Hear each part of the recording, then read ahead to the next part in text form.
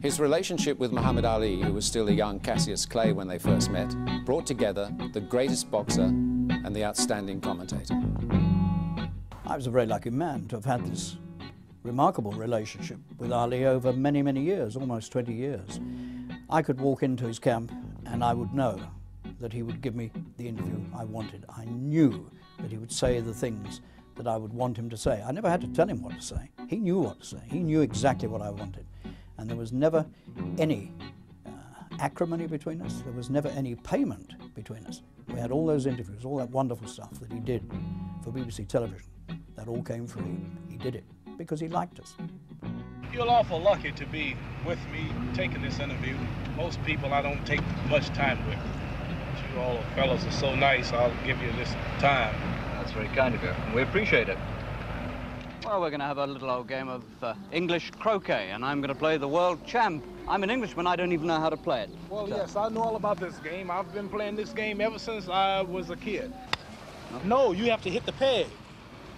Okay, you I'll must, take it back. You must hit this. Well, nice playing with you, and the next time I challenge you to a game of croquet, I understand you have a nice place over there where we can play called Roehampton. That's right. That is, is the great place. It? Exactly Great right. Roehampton. That's a date. Well, I will be there to beat you in one. okay. All right, What about that night, the middle of the night, when you turned up uh, at Sonny Liston's own home? Oh, yes, that was in uh, Denver, Colorado. We went to his house one night before the signing of the contract in Denver, and I drove my bus in his front yard and told him that uh, blowed my air horn, woke him up, and he came out in the middle of the night in his underclothes, his robe, and he had a big stick, and he said, you get out of my yard. And I said, you big ugly bear, you. I'm gonna see you tomorrow for the signing, and I'm gonna knock you out in eight. Nobody much liked Sonny Liston. He didn't court popularity. His lack of education and his earlier reputation as a man at odds with society made communication difficult. But without doubt, the boxing world and the public respected him as champion. You tell me how you think the fight will go, Sonny. How I think it should go, mm -hmm. will go, yep. like all the rest of them. One round? Um, that's what I'm planning for. You ever been a kid when you start talking loud or singing loud or something to amuse yourself so that you won't get scared and run out? This is what we call whistling in the dark. Right. So mm -hmm. that's what Clay does. But when the bell sounds and he comes to me, I don't know what he might do. So far, nothing much in it. But from now on, it becomes one of the most extraordinary and puzzling fights of all time. Clay didn't want to come out for this round. He's complaining there's something in his eyes, that he can't see properly. He believes it's something that's come off Liston's gloves. He's only in there now because Angelo Dundee, his trainer, shoved him out for the fifth and told him to get on with it. I'll swear that not one of us in that Miami Beach arena could have predicted what would happen next. A hundred different theories have been advanced as to why this fight ended so strangely. Most of them are libelous. The most charitable theory is that Liston was telling the truth and that his shoulder was bad. A more cynical explanation is that he knew by this time he was in for a beating and he couldn't face it. Sonny, Sonny, Sonny, what happened? Get up, the bell rung. Sonny, get up. Don't quit. Sonny said, my mother did not raise no fool. I'm gonna stay right here on my stool. And what's happened? Clay has won! Clay has won! It's all over at the end of the sixth round, and Cassius Clay is the new champion of the world! Sonny, how much did it hurt you when you lost that title? And it's more than words can explain. It's just over a week since Cassius Clay won the heavyweight title.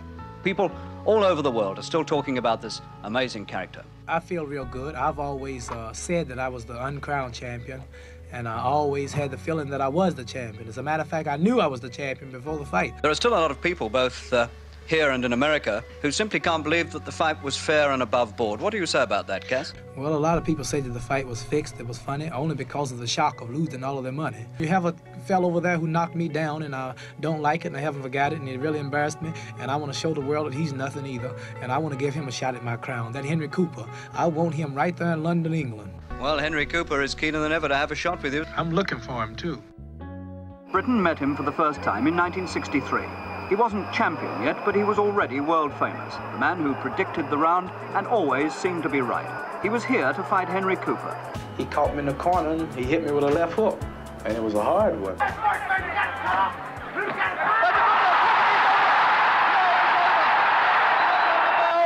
bell has sounded, and he's up at about three, Clay. That was the end of the fourth round, and he hit him about two seconds before the end of the round. With the left hook, Clay took one chance too many, and he still doesn't know where he is. They're working furiously on him in the corner. Angelo Dundee, his trainer. He really is giving him a talking to. Now this crowd at Wembley are beginning to bay for a Cooper win. Clay on the floor at the end of the fourth, and now fighting to preserve his professional right here against Henry Cooper. Oh, Cooper's left eye is really in a shocking state. It really is now. And I think Tommy Little will have to stop this because Cooper's eye is really in an absolutely appalling state. And now he's slipping in, and I think this is it. Cooper, of course, couldn't go on. To this day, we still like to play the game of pretending what might have happened if Cooper had hit him a little earlier in the fourth. What might have been didn't matter. Clay had said five rounds, and five rounds it was, whether we liked it or not. Henry had given Clay his final test. I don't think any of us, maybe not even Clay, imagined that he'd be world champion in another eight months. Cass, who's that you've got there with you in the New York studio? Come here, Sam. Uh, Mr. I got the British press here. This is Sam Cooke. As you can see, like me, he's awful pretty. and we are here now working on a record called The Gang's All Here. Would you like to give us uh, a preview of this disc? Uh, well, let's give him a sample. on, let's give it. him a How do you preview. We, we'll do a lot better if we had the music here with us. All right, we're gonna do it we'll, without we'll the try now. Hey, hey, the gang's all here. Join in the fun. Hey, hey, the gang's all here. We're gonna swing as one. Do it again now. Hey, hey, the gang's all here. Join in the fun. Hey, hey, the gang's all here. We're gonna swing as one. How you like that? I'll see you guys later. all right, Sam. Yes, sir. Okay, thank you very much, Cass. You're welcome. Bye bye.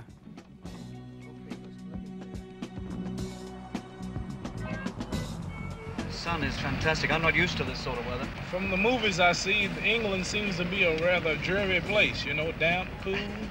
We survive. Yeah, I see. I don't guess you live to be this old for nothing. This is what we call uh, filling the gas tank. Other words, getting up early in the morning, coming out, getting your legs in shape, getting your wind. And we get up every morning. This is the most important thing about a fighter. You see those large boots he have on? We travel with those because uh, lifting the weights fill up, build the ankles and the legs and everything. When you take those off and put those boxing trunks on, you have a little, two little invisible wings, I would say. These are the part the, uh, that the ladies and gentlemen and the kids in the world don't see. Average fella don't even want to get up in the morning.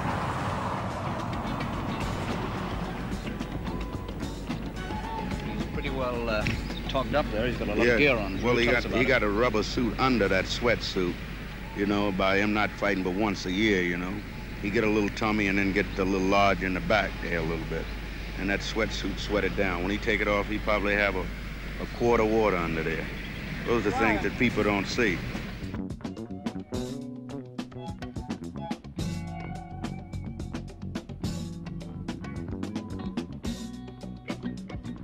He says the boasting and the predicting are over. But when the public's eye is on him, he can seldom resist playing to the gallery. And even when he's meeting old friends for the umpteenth time, if a camera or microphone's around, he'll succumb. I am the greatest. Oh, look at take him out. Angelo, tell us just what is it that makes him a great champion? Well, actually, in uh, training, he does hardly nothing. I mean, and, then, and that's a broad statement, but he doesn't work real hard in the gym. He just works to get condition. So one day, uh, he hit a fellow a punch, and it was not even anything like a left uppercut. And I said, gee, when he slipped your punch and you hit him with a left uppercut, I thought it was beautiful. And he says, yeah, it was pretty good, wasn't it? And then, then he started using the left uppercut to effect. You've got to get to him by a, a roundabout way. I have something that I would like to introduce to the people there in Britain, all of my boxing fans. I know many of you have read about and have heard, And if you saw the Williams fight, you saw me uh, reveal the Ali Shuffle. That's my new dance to the world. This Ali Shuffle is something that's sweeping the nation throughout America. Old people, young people, ladies, men, all throughout the colleges, everywhere that I have toured since the Williams fight, they're trying to do the Ali Shuffle. Ladies and gentlemen, this is the regular dance that I use just before the shuffle. I'm moving and I'm moving and I'm jumping around, and just before you know it, that's Ali Shuffle from the side view. See, that's the side view. Then this is Ali Shuffle from the front view. And just as soon as you do that shuffle, a split second, right after that shuffle, it's a good punch. What about this fight coming up uh, with Terrell? Well, what's your prediction on it? Terrell will catch hell at the sound of the bell. Ernie Terrell thinks he's a championship fighter, but when he meets me, he will fall 20 pounds lighter. He may come in the ring looking clean and neat, but if he's not cool, they will carry him out by his feet.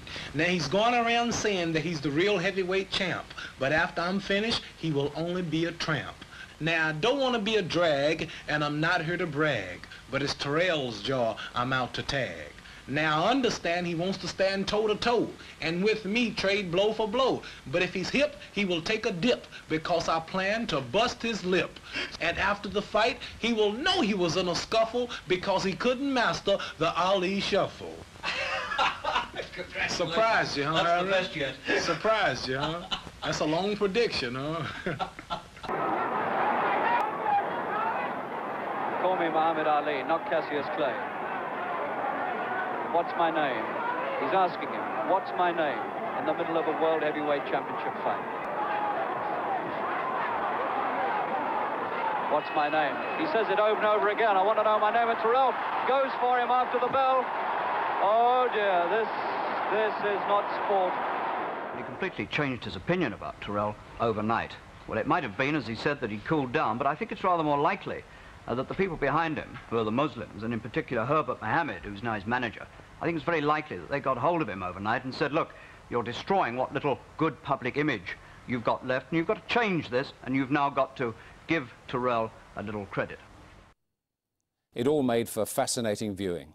The most famous sportsman ever and the bespectacled journalist and commentator together. And Ali's greatest moments were Harry's greatest too. Fifteen hours ago, I left the ringside of Madison Square Garden, New York, carrying with me the videotape recording of one of the most extraordinary fights of all time. Now I'm in London to share with you the boxing experience of a lifetime.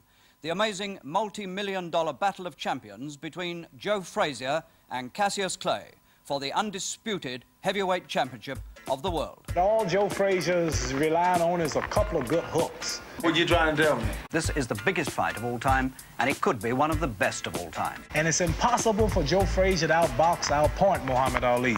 He'll have to knock me out to win, and that's still impossible.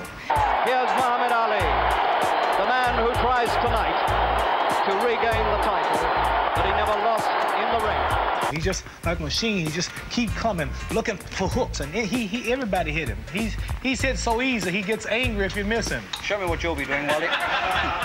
The perfect match because they're both unbeaten. Oh, he'll be coming in, you know, and I'll be taking my time and keeping my distance on my toes, staying in arm range. I'm taller than he, and pop, pop. get a little too close, grab him, tie him up, you know, clench him, walk with it, you know, just walk him all around. He got his little phony ways about him, you know what I mean? But as far as I'm concerned, he's all right with me. This contest is for the final determination of the heavyweight championship of the world. Why don't you ever have any doubts that No somebody doubt. might beat you? How can I lose with the stuff I use? Ain't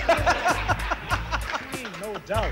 I was a slow, flat-footed, ugly, slow, awkward Joe Frazier gonna whip Muhammad Ali. If he dreamed it, he better wake up and apologize. But I noticed that you let him call you Clay. during I the- didn't let him call yes, me you Clay. did. He called me Clay. Right. Now, I'm gonna stop all of that too. I'm gonna do him just like I did the rest of them. What's my name? Don't you never My, call me that no more. That's what I'm gonna do to him. And it's noticeable that the talking has stopped. Clay's got his work cut out now with this fight, and he knows it. And Frazier this time snarls back at Clay as Clay catches him to the head. I don't know what he said, but obviously he was showing contempt for the punches. that's a tremendous shout for Muhammad Ali. He's got the crowd going with him, and he motions to Frazier and says, listen, they're rooting for me.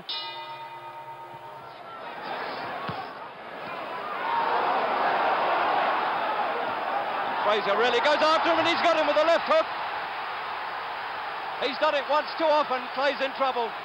Round 11. He's hurt. He nearly went down. Here's the first great climax of this fight. The left hooks are thundering in. And Clay's in trouble and he makes a face. It's a big round for Frazier. And he's hurt again and he almost goes over. Clay's in real trouble. Now he really needs needs to move. Now is he foxing or is he really hurt? He's hurt.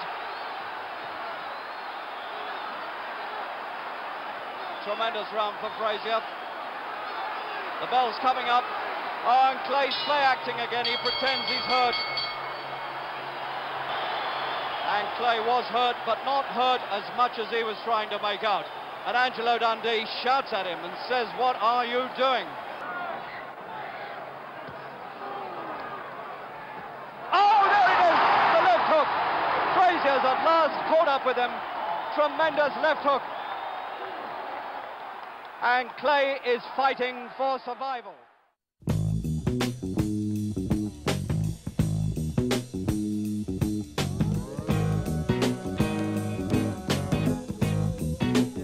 It's very interesting that uh, even people who don't follow boxing, when you say to them, uh, the rumble in the jungle, and their face like, the rumble in there, they all remember, or even if they weren't, weren't born then, they know about it. If you think I whoop Sonny Liston, you wait till I get George Foreman. He talks too much, he's ugly, he's pretending I'm the true champion, and they make me the underdog. I'm gonna show them all they're wrong because I'm the champion. I'm the real champion. There'll never be one like me. And all you people in Britain who rank me as the greatest, I'm gonna prove I'm the greatest. I'm gonna prove to you I'm the greatest. We're gonna prove to the world I'm the greatest. This is my last fight. I don't want none of you to miss it. So please come to the theaters. I'm going to eat some raw meat and I'm going to train. I'm going to get ready and chop some more trees. George at that time wasn't the sort of avuncular, nice bloke he is today, all smiles and cheer. He was very gloomy and he was very. He, he didn't much care for being interviewed. Yes. Good, good boy. Good this boy. is your own dog, is it? Yeah, this Dago. He was very prickly. He, he had this uh, huge Alsatian, which he used to call Doggo or Dago, can't remember now.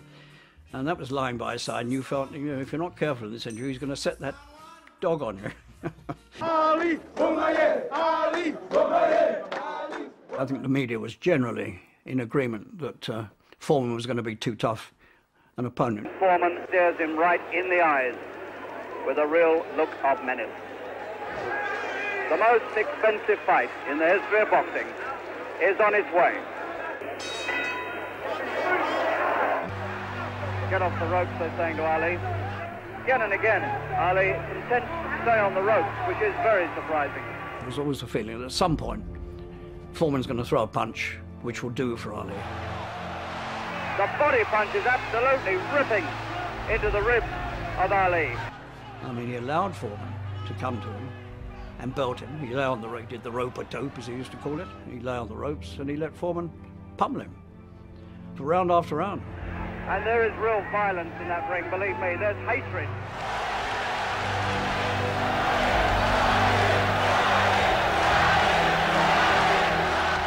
It was the most extraordinary few seconds that I've ever seen in a boxing ring. Oh, he's got him with the right hand. He's got him. Oh, you can't believe it. And he's doing his shuffle. And I don't think Foreman's going to get up. He's trying to beat the count, and he's out. Oh, my God, he's won the title back at 32. I didn't expect Ali to win, and when he did, and so sensationally, and in the end so so so quickly, one punch. Uh, when it happened, I mean, it, it just came out. My God, he's got the title back at 32. Ali is heavyweight champion of the world at 32. It's nice to be able to say I was there when this absolutely extraordinary fight took place. Oh, it was a thriller in Manila. That was the hardest fight I ever saw. And that was the one I disliked most because it, it was too hard. Frazier's mouth badly busted now. A lot of blood coming from Frazier's mouth. Ali looking unmarked. And when you've got two men of 15, 16 stone knocking each other about for 14 rounds, you know, they are shipping a lot of punishment. And somebody in that corner wants to stop the fight. Somebody in Frazier's corner is saying he ought to be stopped. They're arguing about it. And Eddie Futch is calling it off. He's calling it off. It's all over, and Muhammad Ali at the end of the 14th round is a TKO. He did it in the end, the hardest fight of his life. And Frazier, in the end, had to quit, and Ali's out on his back in the ring. He's collapsed, and they're having to hoist him off the floor and get him back to his corner. Too hard a fight, and it was the point at which he should have said, That's it, I've beat my old enemy, Joe Frazier. It was the third fight they'd had. And uh, now's the time to call it a day, I would have said. But then, you know, you, I don't know exactly what his personal circumstances were. He may have needed more money. I, I don't know. Uh, or maybe it's just too hard when you're the world champion. Uh, there's always the temptation. Just one more. I can beat this guy. One more, one more. For 20 wonderful working years of my life, I've followed this man around the world and reported his achievements. He took boxing to heights never previously reached. He coined his own epitaph I am the greatest. He was, and he is. The people of Britain have voted Muhammad Ali the sports personality of the century.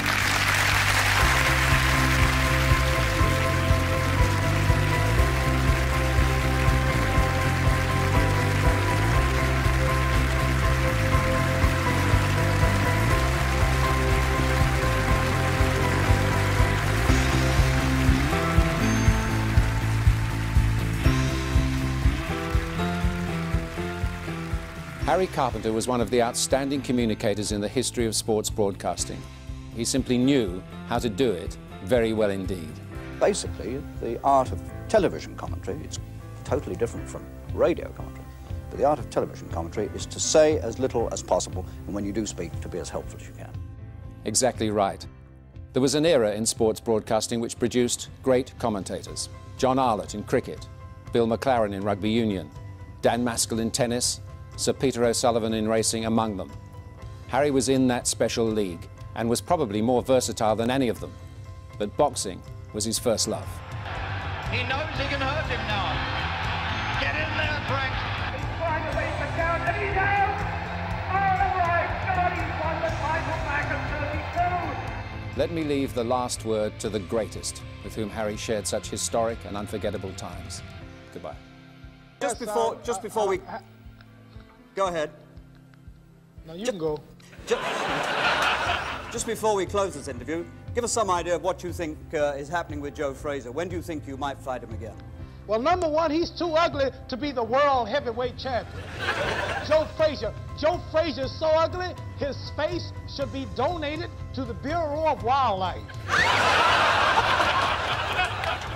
that man, that man, let me tell you, he can't write no poems, he can't predict no rounds, and let me tell you, I'm not conceited, I'm just convinced.